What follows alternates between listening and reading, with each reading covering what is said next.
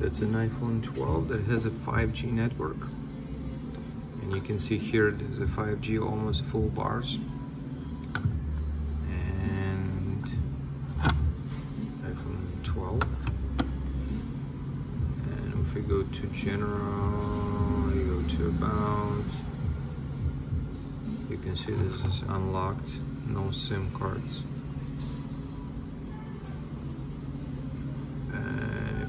The customer service, that's gonna be H2O. Thank you for calling H2O Wireless.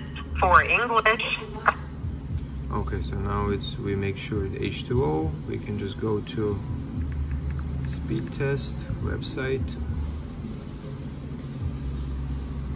run a speed test, and let's see how the 5G and H2O network, which runs on AT&T network.